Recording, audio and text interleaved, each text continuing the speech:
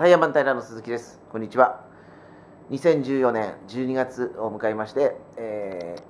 スタッドレスタイヤの装着が本格的になってまいりました。えー、今日は、えーまあ、スタッドレスタイヤの、えー、装着、え、ローテーション、え、タイヤを取り付けるときにどのように配置していって、え、取り付けをしているかという私たちの、え、ところでのちょっとご紹介をします。え、もう本当に、え、当然、え、当たり前のことなんですけれどもタイヤは、え、走ると削れていきます。削れていく、向けていく方向があのやっぱり決まってます。それで、えー、4本が同じタイヤで、えー回るえー、タイヤの回転方向、回す方向ですね、回す方向が決められていないタイヤに関しては、あの自由にこう振ってあの位置をずらし位置を変えていくことになるわけですけども、その変え方っていうのは、もういろいろ、えー、いろいろな、えー、書物や、えー、情報で、えー、いろいろ目にする、えー、聞く、えー、いろんなことがあります。もうどれもみんな正しいのだと思います。えー、私も、えー、自分のところではあのお客様の、えー、ご意向を伺いながらまた私たちの、えご提案する、えお客様が求めるものに対しての、え一番よりより良い方法と思われる方法で、えご提案していきます、えですからもうあのタイヤは限られた溝があのあるわけですけどもそこを使っていく少しずつ使っていく中でどうしても削れていく部分を翌年えー、次の年に次の年には、えー、回転を逆にするのかそれとも同じ方向で回すのか、えー、前と後ろを、え交互にするかそれとも、左右だ左右の左と右だけを交換、あの振っていくかそれも走行距離とか使い方によってもだいぶ違ってきますので、えその辺を、え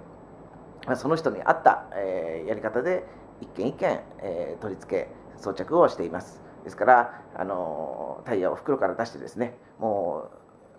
構わずつけてしまうというものではありません。あのそのタイヤの摩耗の状態を時にはあの1回、2回こうずれて装着してしまっているような、えー、方、えー、一番タイヤが減っているものとうんとあの溝が残っているものとっていうのがはっきりしたものが2つあの1本1本ですね見つかる場合があるんですね。それは1回どっかでリズムがあのこうずれてしまってつけてしまった跡があるっていうようなものもよくあるんですよね。見受けられますよね。ですからあの必ずですね前輪で使ったものを、えー、タイヤ2つ、えー、後輪で使ったタイヤ2つ。これがえ前輪後輪、まあ、2つのチーム、えこの2つの組み合わせがいつも一緒にこう動いていく、えそういうリズムを作りながらやっていくのが一番いいと思います。えー、その辺ですね、えー、まあ、たかがローテーション、えー、またはタイヤの、え取り付けっていうことになるんですけども、えその辺ですね、えつける位置や、え削れた方向を、えなだらかにしてまた使っていくとまた平らになっていく方向につけるのかそれとも音をあまり出さないようにつけるのかというようなところでも、え違いが出てきますね、えそんなことで今年は、えもうあと、えー、1ヶ月切りましたが、えー、大体八王子では皆さん12月に取り付けが、えー、終わると思うんです。年内に皆さん大体スタッドレスタイヤを持っている方はつけると思います。